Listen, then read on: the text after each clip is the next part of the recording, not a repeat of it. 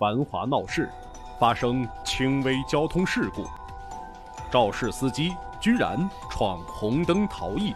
拍下来了，都说要报保险处理事故了，让他合计跑了。调查之后，车主的身份更让人生疑。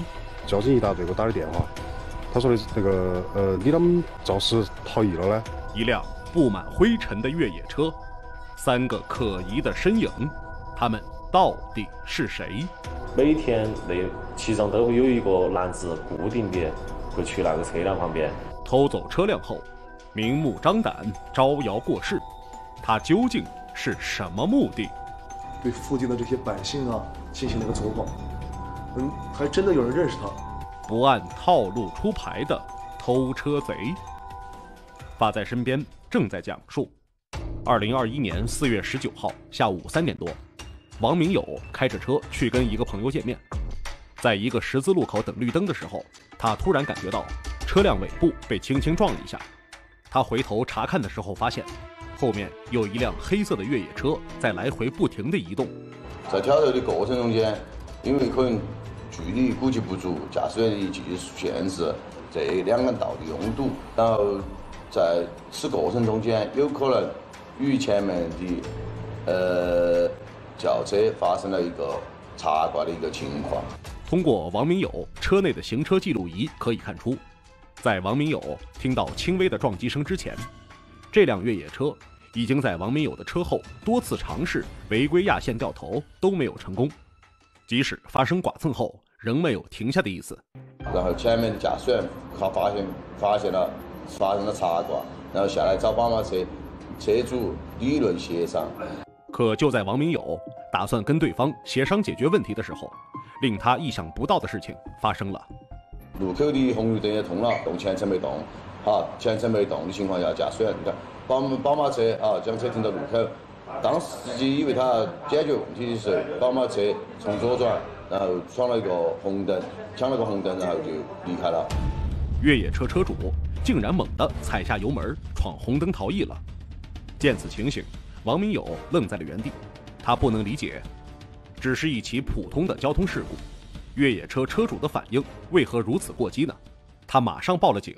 要不然下来，我都下来拍下来了，都说要报保险处理事故了，让他合计跑了。交警在查看了车的损坏程度之后，也感到莫名其妙。这明明是一起普通的剐蹭事故。肇事车辆的车主为什么选择逃逸呢？交警认为这件事的背后或许另有隐情，而之后查到的这辆车的车主信息更让人意外。车主叫张家豪，居然是一名律师。作为一名法律职业从业人员，张家豪应该是很懂法律法规的。那么，在一起如此普通的交通事故之后，他为什么要选择肇事逃逸呢？他到底啊在逃避什么呢？很快，张家豪就接到了交警打给他的电话。听闻这件事情之后呀，张家豪啊也是大吃一惊。交警一大队给我打的电话，他说的那个呃，你啷么肇事逃逸了呢？这个车主在。就是被撞的那个车主在报案。经过确认，发生剐蹭的那辆越野车确实是张家豪的，但张家豪说，那天驾车发生交通事故的人并不是他。按照时间推算，当时他正在法院参加庭审。我就觉得很震惊。第一个，我的车子很久没开了，我觉得要么就是可能是不是这个电话是诈骗，哦，我甚在怀疑。张家豪一时也想不通，这到底是怎么回事他说：“这辆车平时就停在律师事务所门前的路边，事发前一天，他还看到车依然停在原地。接到警方的电话之后，他匆匆赶回律师事务所查看结果，发现车子确实已经不翼而飞了。发现自己车辆已经被盗，呃，于是他就来到我所，那报警。一个越野车被偷了，按理来讲。”像我们这种主城区，偷盗窃机动车的这种案件发生率都很低，都很低，我们也很诧异。听了张家豪的讲述，警方也感到了不可思议。这车呢，一直就停在张家豪每天出入的律师事务所门口，哎，他怎么就能丢了呢？这里边会不会有什么误会呢？如果车确实被人盗窃了，那么又是在什么时候被盗的呢？于是，办案民警迅速赶到现场，展开调查。什么地方停啊？哪个是？说看。我那个车子之前就停到这儿的，呃，现在被人偷了。之前就这个位置啊。哦。你是好久把车停这儿的？停了有半年时间了，一直没开过。这车钥匙随时放在哪个身上的？车钥匙都在我这儿，两把车钥匙都在我这儿。他自己也不知道这个车什么时候被偷的，他就很诧异。他说：“这个车子，一是电瓶都是坏了，二呢轮胎也是坏了，一般人开不走啊。”张家豪说：“要想将那辆越野车开走，需要大修。此外，张家豪所在的律师事务所位于市区较为繁华的地段，众目睽睽之下。”嫌疑人是在什么时候修了车，最终将越野车盗走的呢？而在进一步走访调查后，一位环卫工人主动向办案民警讲述了这样一件事儿。他就主动给我们讲，在事发的前几天就来了几个人，特别轻松的在那块儿在弄车子，把车的轮胎也换了，在那修那个车子。根据这名环卫工人讲述，当时在场的是三名男子，其中两名男子只有二十多岁。另一名男子看上去有四十多岁，他们拿着专业的修车设备，看样子对汽车维修很内行。环卫工人还提到，当他问及这辆车的车主是谁的时候，那名四十多岁的男子还拿出了一封信，一封书信，表达的就是呃抬头写的张哥，呃我可能要判无期徒刑，那次怎么怎么样了？他就说这个车子是他一个朋友的，一个朋友同他那个朋友又出事了。他不开这个车，他就准备把它修好，然后拜托他，拜托他们几个把那个车停到他家小小区的那个停车场去，免得这个车子在外面一直风吹雨淋的，总也不开就坏了。他也是为了帮忙。呃，他当时觉得呃也没有什么异常，然后就没有太多过多留意。办案民警越发感到这个案件有些蹊跷，因为环卫工人提到，那三个修车的男子啊，来的时间可是在人来人往的白天。当时车主张家豪应该就在不远处的律师事务所上班，难道他们就不怕自己的行为被车主发现吗？此外，如果那三个人真的是偷车贼，他们会为此啊刻意的伪造一封信件，编造一个故事吗？心里也在怀疑，他到底是不是跟车主是不是有什么精神上纠纷啊？但是反复跟车主确认，首先他也没委托。人帮着开这个车，其次也没有跟谁有经济上纠纷，所以说他就我们在综合来讲的话，还是感觉很诧异。那么这伙人究竟是谁呢？怎么敢在光天化日之下对车辆进行维修，而后将车开走呢？他们作案之后又去了哪里？这起案件的背后到底藏着什么呢？偷走别人的车后。居然四处闲逛，他哪儿来的底气？一般的来讲，第一时间把车子偷完之后，他就准备把卖了嘛，就销赃了嘛。但是没有，但是他没有。三名嫌疑人，两人彻底消失，他们到底是什么样的组合？他还当做了个好事儿，就因为这个，因为他这么讲。奇怪的行为背后，究竟藏着什么秘密？这个小超市，是他。女朋友的家里面，这个超市他说是他女朋友开的。不按套路出牌的偷车贼，爸在身边正在讲述。融平台连天下，欢迎下载山西广电黄河 Plus 手机客户端，了解更多山西资讯。人老戏不老，全靠腰腿好。舒筋健腰丸配方专，药材好，传承陈李济四百年制药精髓，专药专治腰椎间盘突出引发的腰疼、腿疼、腰膝酸痛、强筋骨、屈疼痛。舒筋健腰丸，对的。广州白云山陈李济国粹中药匠心传承四百多年了。哎，堵了。堵了，这茶壶堵了还不要紧，如果得了三高、血粘稠，哎呀，就怕堵了心和脑。高血压、高血脂、高血糖，血液粘稠，均属混血范畴。混血不清就容易堵塞心脑血管。清血八味片，传承三百年清血古方，精选矿物药、动物药、植物药三药合一，清控血。您看准了，清血八味片专利药，专药清控血，清血八味片助您控血清，心脑好。蒙奇清血八味片，黄褐斑，黄褐斑，黄褐斑是病得治，怎么治？抹药，抹药治疗黄褐斑。开始，班利净牌升级软膏，以医学为依据治疗黄褐斑，改善面色少华，是国家批准的国药准字号专利药品。班利净牌升级软膏，抹药治疗黄褐斑，抹药好得快一些。班利净牌升级软膏。黄褐斑，你开始抹药了吗？哎，堵了，堵了！这茶壶堵了还不要紧，如果得了三高，血粘稠，哎呀，就怕堵了心和脑。高血压、高血脂、高血糖、血液粘稠，均属混血范畴。混血不清就容易堵塞心脑血管。清血八味片，传承三百年清血古方，精选矿物药、动物药、植物药三药合一，清控血。您看准了，清血八味片专利药，专药清控血，清血八味片助您控血清，心脑好。